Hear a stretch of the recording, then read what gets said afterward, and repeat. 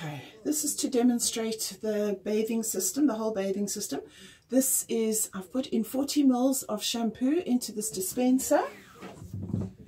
It's going to go, you just twist it on and it goes into that.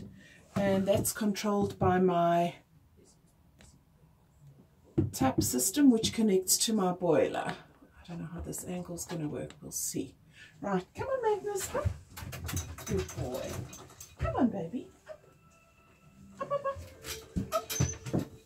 Good lad. In you go. This is Magnus. Hey, good boy. Right, get the plugs ready. The squeezy cloth that we'll use afterwards, the chamois. So the um, recirculator pump you can see is in the bottom of my tub here. Good boy. Boy. You been a model today? Are you been a model?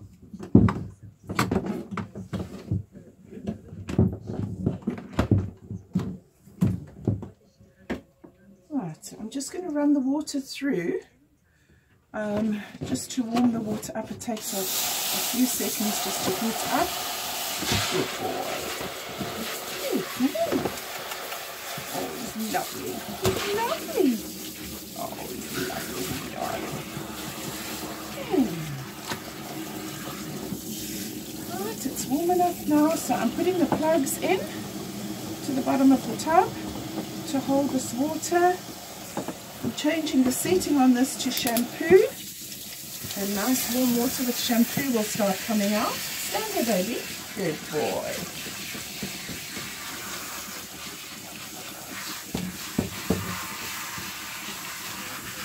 Good boy.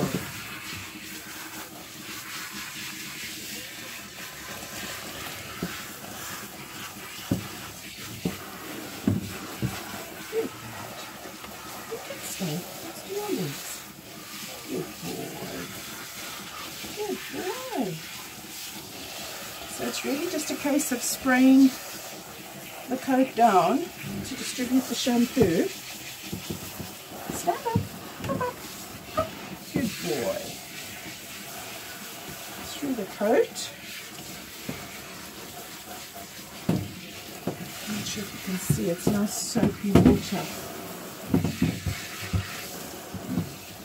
Good boy. Right, let's do your head. Good boy. That's good boy. So I can see as the water's running off into the tub, it's quite dirty already because this water pressure's done a good job of cleaning him, cleaning his coat so far. He lives on a farm, so he has an outdoor lifestyle as well, but he's never filthy dirty. Can we do your muzzle? Good boy. Good boy. Oh, good boy. It's too under I'll try and get a shot of the water so you can see how much dirt has come off. So with a very small dog, like my last dog of the day yesterday was a tiny Yorkie cross cairn, and I didn't use the recirculator on her. She's too skitty and it's too noisy for her. All I used was this and um, it got her lovely and clean.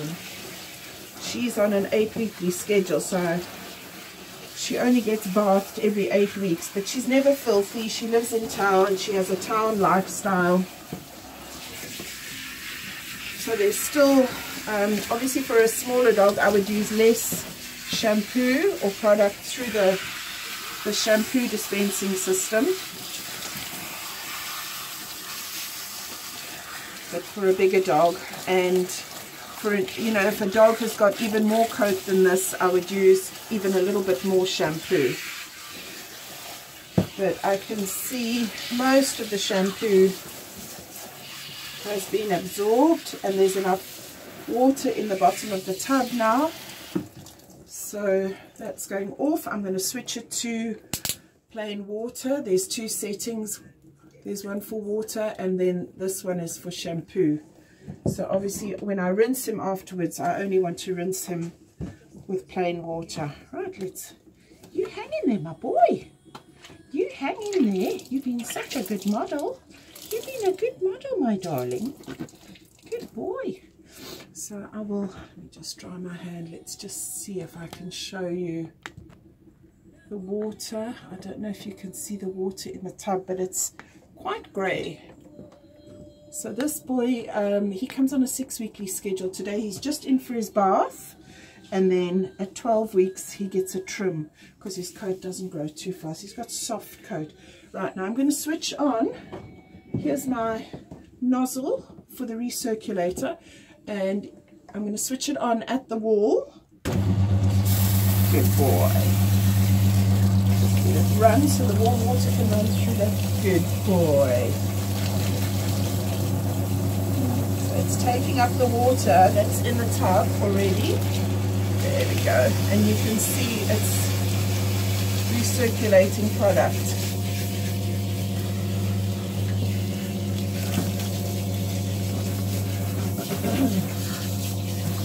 and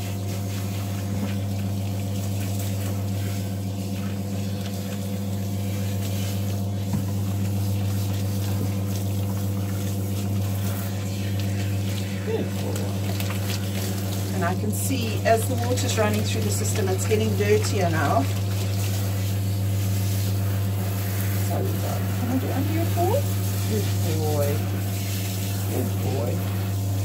Oh, Liz, can I do under this paw? Good boy, can I have this paw? Good boy, and this paw? Good boy. Next to your bum and your tail.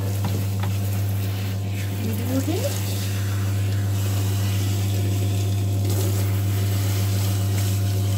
Good boy.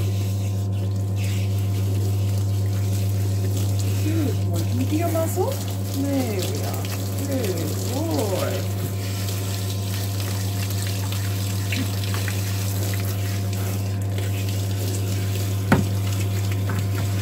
So as the water runs through the pump, obviously um, it's making more bubbles. So the filter, whoops, thank you. Thank you, Magnus the water, the filter on the bottom of the pump, stand for me, stand, good boy, helps to manage the amount of bubbles because if the pump sucks up too many bubbles, it gets an airlock, but there's a lot of lava in the bottom of my tub.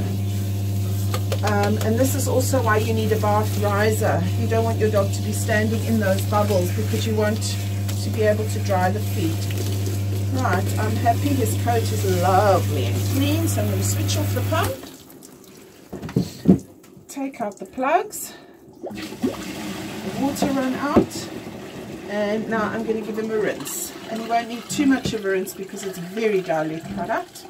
So there's my, that, just let it warm up again. Good boy, good boy, you really go, good boy.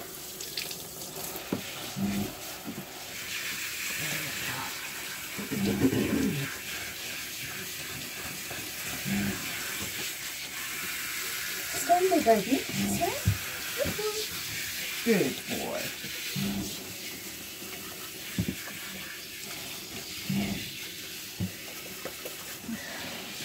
Still good. Good boy.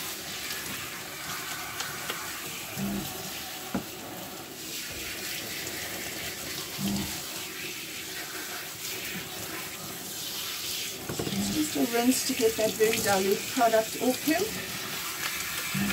If I felt that um, he needed extra lathering, say for his feet, stand up baby, if his feet were really dirty I would do them by hand but I haven't yet come across a dog where just this hands-free bathing doesn't do the trick. Oops, stand up. Yeah. Good boy. So that's him. There we go. There we. And that is pretty much it. So